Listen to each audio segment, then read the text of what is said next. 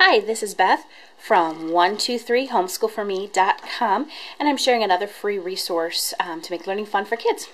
Um, this time I'm sharing about my um, Christmas Solve and Stamp Bingo Marker Mysteries. And each of the sheets has a whole bunch of addition and subtraction problems from 0 to 10.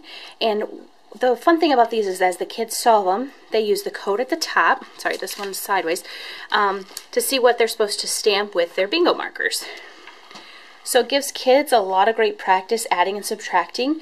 Um, I even use them with my third grader just so that he gets quicker with them. He knows them um, quickly and can just get to them right away, and it's going to help him in all his future math. There's even an answer key at the back so you can see what the picture's supposed to look like. And there you just get a little idea of all the different um, pictures the kids can make. So again, this is a free resource on my blog, and it's www.123homeschoolforme.com.